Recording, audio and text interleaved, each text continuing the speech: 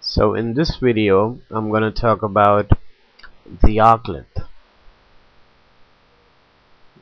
for uh, vector functions. Okay. Uh, let me say we have a function like so um, it goes like that. Okay. Another function which is which may be an ellipse and uh, another function let's say it, it is a helical one. Okay goes like that. Right. And uh, let me call any point on the ellipse as A. And another point B here. The starting point here A and B. Similarly to this. And if I if I if you actually hold this point A okay very bad at that.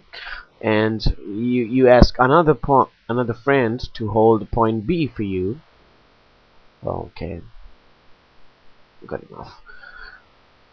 Then and, and you guys just stretch this out this whole curve then this distance or this length would be L would be the arc length.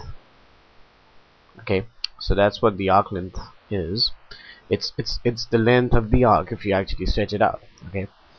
And let me see um, how how we can actually derive the arc. Length now let's say we have this function.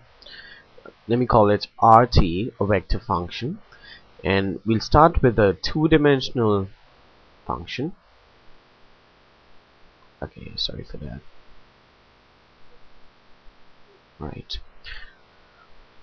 And let's say that we move a certain distance on the curve in a time interval dt okay? It's a small time interval. And we move a certain distance.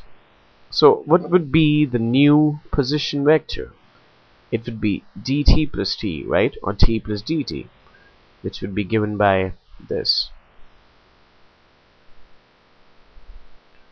and if I ask you the distance that you've moved okay the distance moved or the distance traveled it would be simply r um, dt plus t take away rt okay? And the modulus or the magnitude this whole thing because it's it's the distance we're interested in the value okay? So we take the magnitude. Okay let's keep this in mind and if if I if I want to express this in terms of velocity and time this is the distance. It would be simply be the velocity times the time interval. So the distance that you've traveled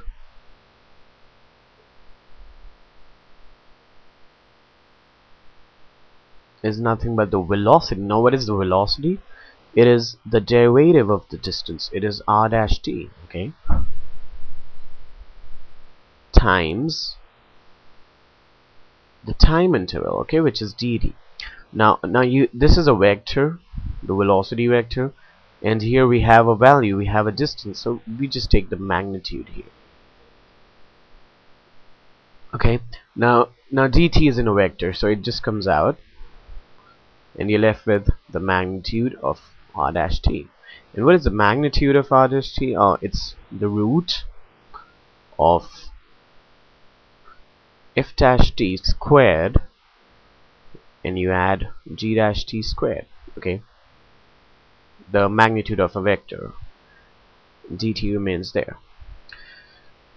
Right so we're talking about a small time dt. Let's say this is the curve and this point is a this point is b and you start moving from this point to this point. A very short time dt there. And this is the distance you move. And if I, if I integrate this thing from the point A to the point B okay from t equals A to t equals B what would I get? I would get the arc length right? I would get L which is the arc length. So L is what? It is the integral okay this is the distance when we're talking about the time interval dt. If I'm integrating this to a to b I get the arc length. Simple. Is nothing but the integral of this whole thing from a to b. So you get the whole the whole arc length this whole arc length. Okay.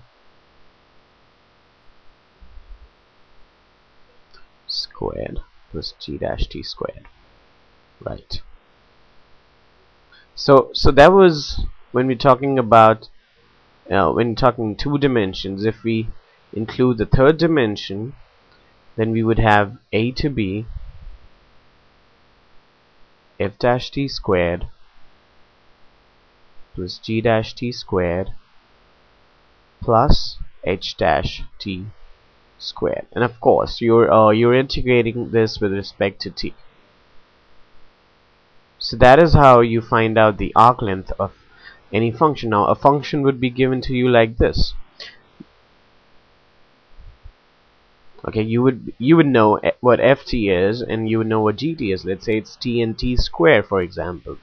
So you take the derivatives you put the values in here you take the squares add them take the root and integrate the function simple and then you apply the limits a to b. Okay